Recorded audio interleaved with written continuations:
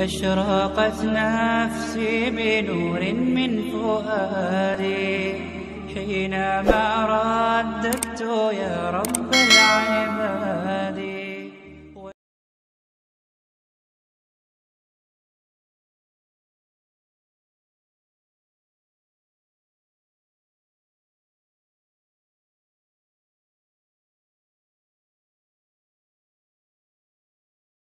السلام عليكم ورحمة الله وبركاته الحمد لله الحمد لله رب العالمين الصلاة والسلام على رسوله الأمين وعلى آله وصحبه أجمعين அளவற்ற அருளாளனும் நிகரற்ற பேரன்புடையவனுமாகிய எல்லாம் வல்ல ஏக இறைவன் அல்லாஹுவை போற்றி வணங்கி துதித்தவனாக ஆரம்பம் செய்கின்றேன் ஜமியத் அல் குரான் ஹதீஸுடைய சமூக ஊடக பிரிவு நடத்தக்கூடிய இருநூறு கோடி மக்களின் இதய துடிப்பு நபிகள் நாயகம் ஸல்லல்லாஹு அலைஹி வசல்லம் என்கின்ற இணையவழி பிரச்சாரத்தின் வாயிலாக மீண்டும் உங்களை சந்திப்பதில் பெருமகிழ்ச்சி அடைகின்றேன்.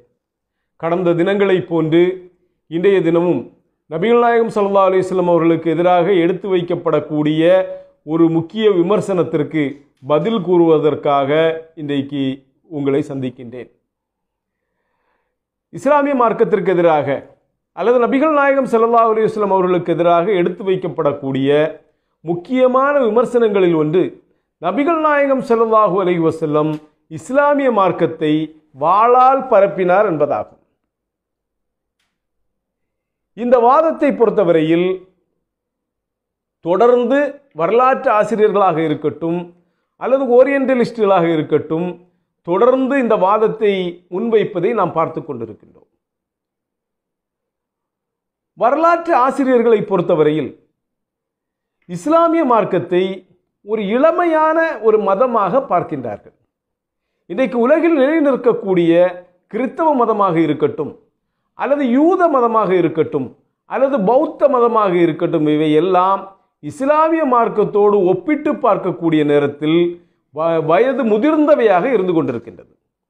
கிபி ஏழாம் நூற்றாண்டில் பிரச்சாரம் ஆரம்பமான இஸ்லாமிய மார்க்கம் நபிகள் நாயகம் சல்லா அலிஸ்லம் அவர்களுடைய மரணத்திற்கு ஒரு நூற்றாண்டிற்குள்ளாகவே மேற்கில் ஸ்பெயினையும் கிழக்கில் இந்தியாவையும் கொண்ட மிக பெரியதொரு நிலப்பரப்பை ஆட்சி செய்யக்கூடிய ஆதிக்கம் செலுத்தக்கூடிய ஒரு பெரும் மதமாக ஆனது ஒரு பெரும் மார்க்கமாக ஆனது வரலாற்று ஆசிரியர்களை ஆச்சரியத்துடைய கொடுமுடிக்கு இட்டு செல்கின்றது இந்த கேள்விக்கு விடை தெரியாத ஆஸ்- வரலாற்று ஆசிரியர்கள் விடை தெரியாத தங்களுடைய வினாவிற்கு விடையாக இஸ்லாமிய மார்க்கம் வாளால் பரப்பப்பட்டது என்கின்ற செய்தியை திரும்ப திரும்ப பதிவு செய்வதை நாம் பார்த்து வருகின்றோம். இஸ்லாமிய மார்க்கம் வாளால் பரப்பப்பட்டது என்கின்ற இந்த செய்தியுடைய ஆரம்ப உறைவிடத்தை தேடி நாம் பயணிக்கக்கூடிய நேரத்தில் நாம் சிலுவை போர்களுடைய காலகட்டத்திற்கு சென்றடைகின்றோம்.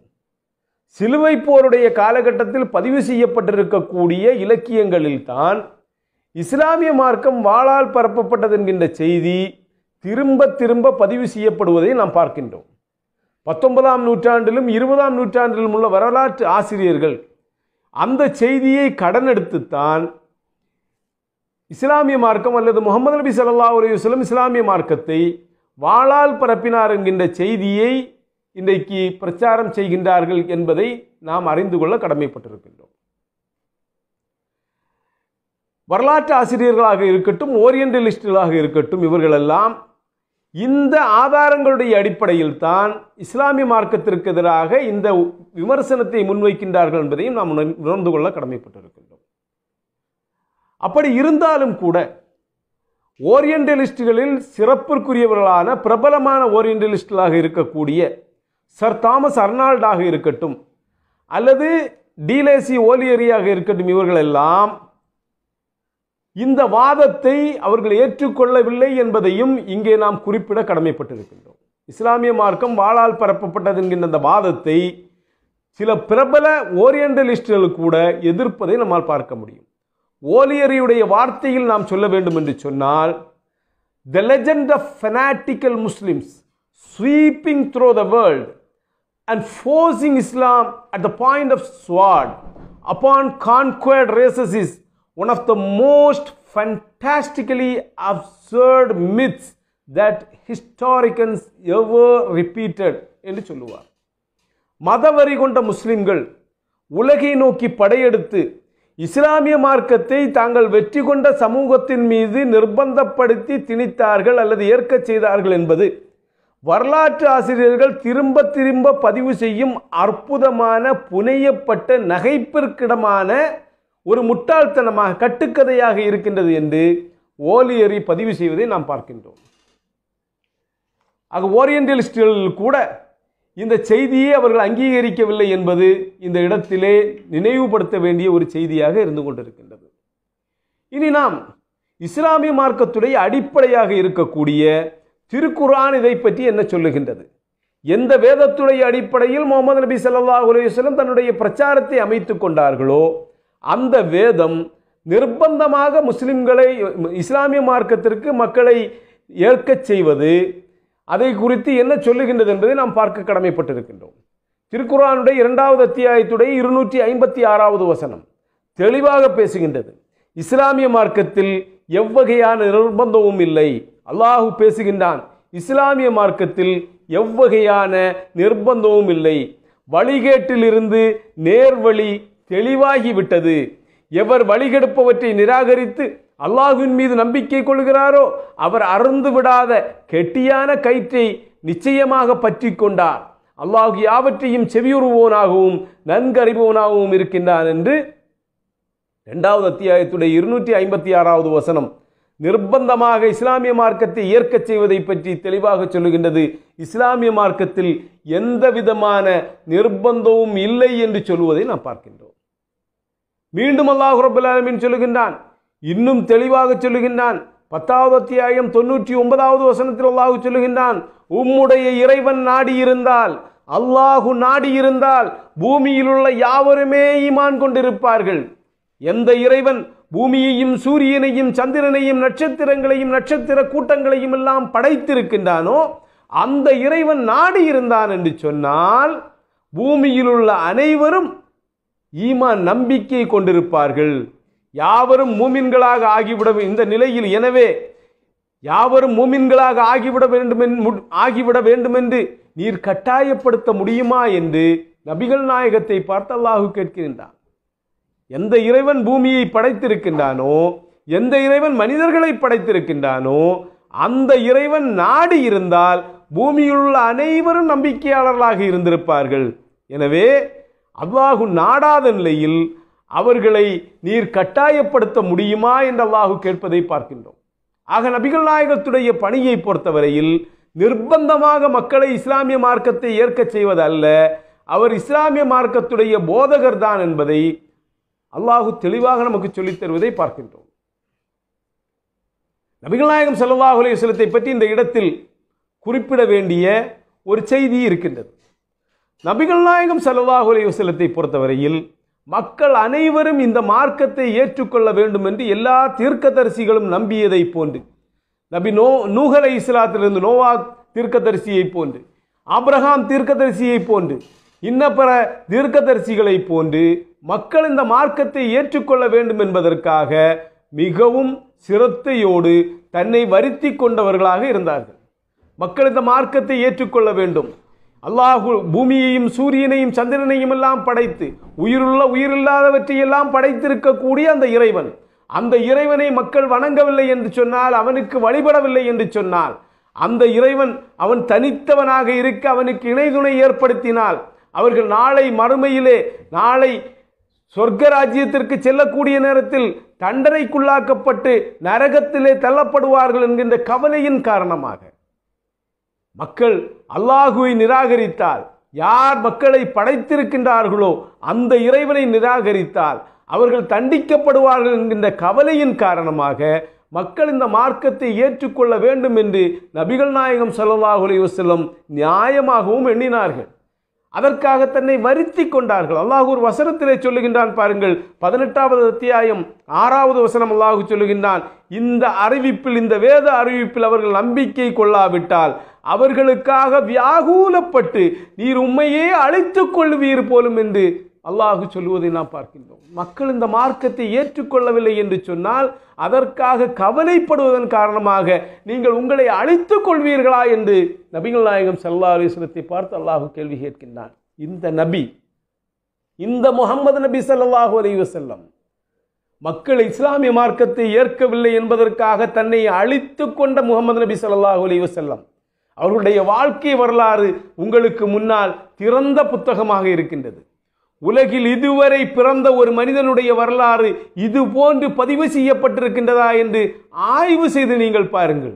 முகமது நபி எவ்வாறு கழிப்பிடத்திற்கு சென்றார் எவ்வாறு தன்னை தூய்மைப்படுத்தினார் என்பதில் இருந்து தன்னுடைய படுக்கையில் படுக்கக்கூடிய நேரத்தில் எந்த பக்கமாக ஒருக்களித்து படி படுத்தார் என்பது வரை தெளிவான முறையில் பதிவு செய்யப்பட்ட ஒரு வரலாறு வேறெந்த நபர்களுக்கும் இல்லை என்று சொல்லக்கூடிய அளவுக்கு மிக தெல்ல தெளிவாக ஆதாரபூர்வமாக பதிவு செய்யப்பட்ட வரலாற்றுடைய சொந்தக்காரர் நபிகள் நாயகம் ஸல்லல்லாஹு அலைவசல்லம் அந்த வரலாறனும் கடலுக்குள்ளாக முக்குளித்து முத்தெடுங்கள் நீங்கள். விமர்சனம் செய்பவர்களை சவால் விடுக்கின்றேன் நான். விமர்சனம் செய்பவர்களே அந்த நபிகள் நாயகம் ஸல்லல்லாஹு அலைஹி வரலாறு என்கின்ற அந்த கடலுக்குள்ளாக நீங்கள் முத் குளித்து முத்தெடுக்க முயற்சி செய்யுங்கள்.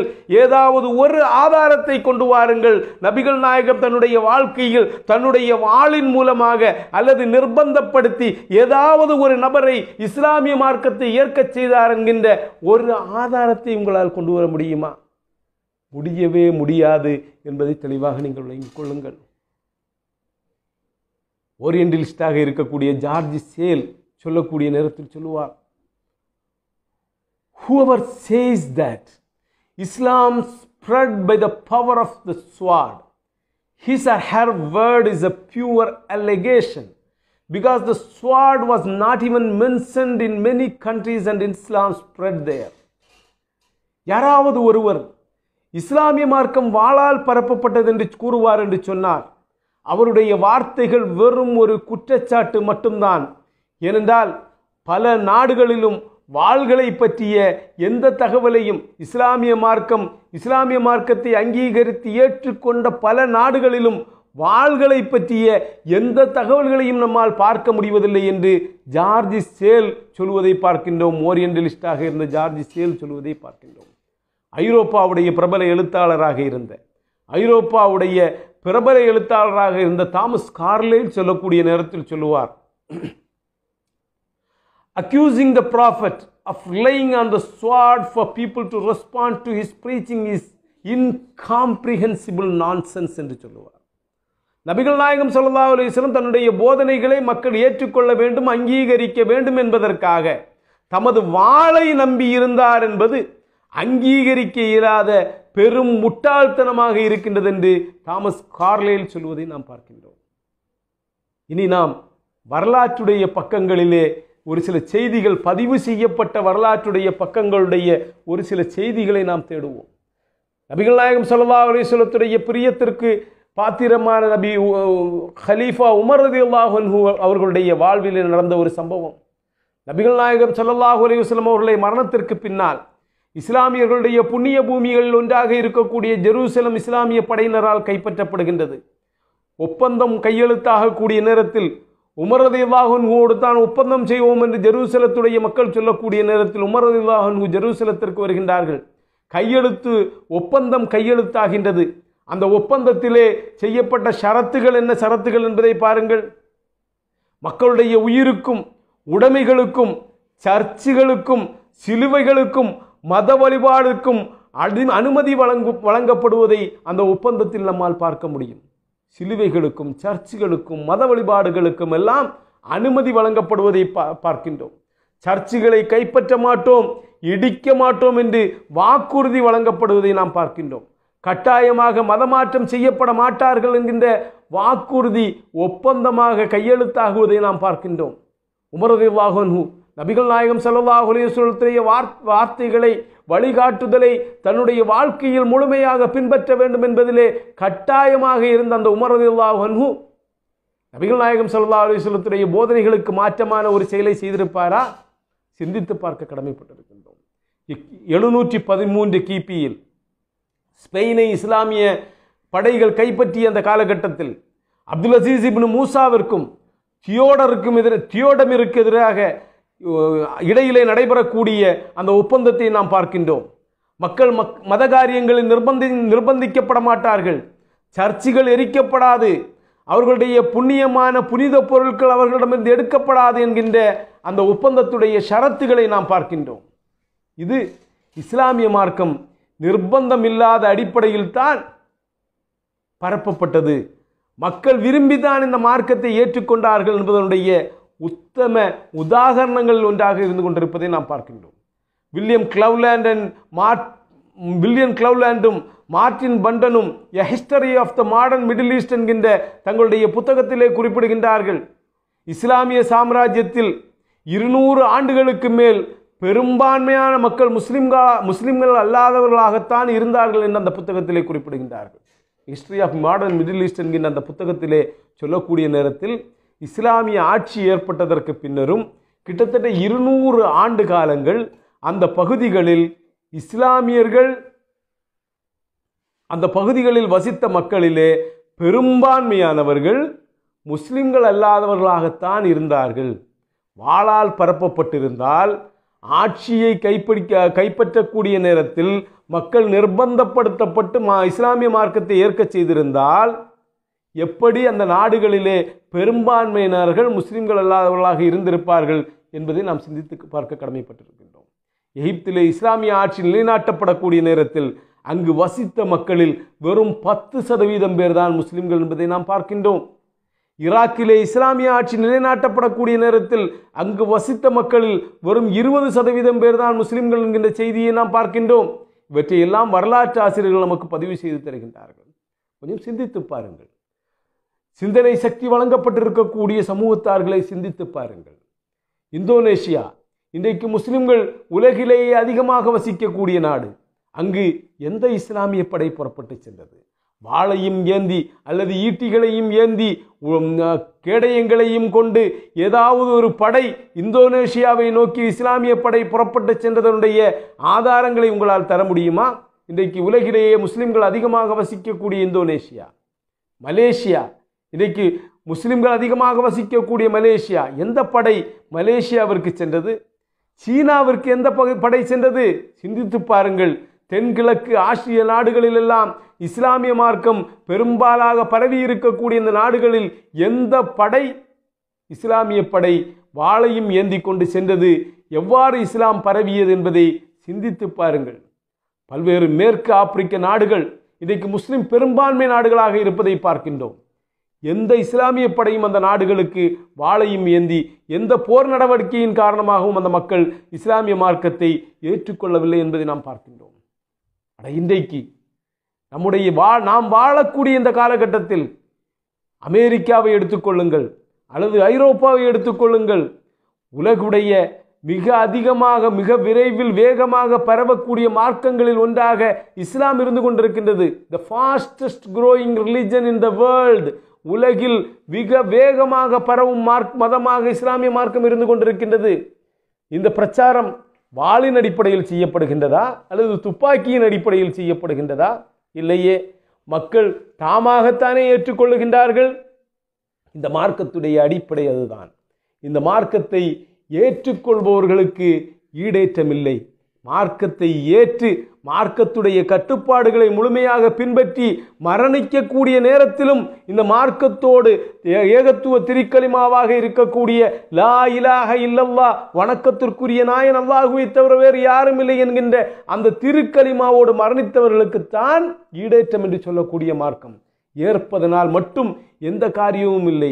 நிர்பந்தத்திற்குள்ளாகி இந்த மார்க்கத்தை ஏற்பவர்களுக்கு ஈடேற்றம் கிடைக்காது என்று அறிமுகப்படுத்தக்கூடிய ஒரு மார்க்கம் இஸ்லாமிய மார்க்கமாக இருந்து கொண்டிருக்கிறது ஏற்றால் மட்டும் போதாது. மரணிக்கக்கூடிய காலம் வரை இந்த மார்க்கத்தில் நிலை நிற்க வேண்டும். மரணிக்கக்கூடிய நேரம் வரை இந்த மார்க்கத்தில் நிலை நிற்க வேண்டும். எந்த இறைவன் பூமியையும் சூரியனையும் சந்திரனையும் படைத்திருக்கின்றானோ எந்த இறைவன் உங்களையும் என்னையும் படைத்திருக்கின்றானோ அந்த இறைவனை வணங்கி வழிபோடு வழிபடுபவர்களாக இறுதி மூச்சு வரை இருந்தால்தான் ஈடேற்றம் என்று சொல்லக்கூடிய மார்க்கத்தில் எப்படி நிர்பந்தம் இருக்க முடியும்? வரலாறுகள்.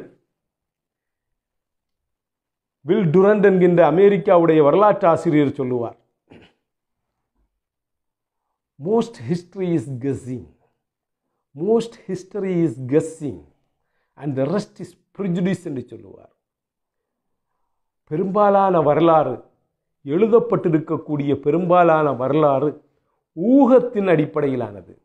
மீதம் முன்விதியில் அடிப்படையிலானதும் என்று கூறியதை போன்று வரலாற்றில் புனையப்பட்டிருக்கக்கூடிய எந்த விதமான ஆதாரமும் இல்லாத ஒரு கட்டுக்கதை தான் முகமது நபி சல்லா அலுவலம் அவர்களுடைய வாளின் மூலம் இஸ்லாமிய மார்க்கம் பரவியது என்கின்ற இந்த வாதம் என்பதை இது நீங்கள் விளங்கி இருப்பீர்கள் என்று எண்ணுகின்றேன்.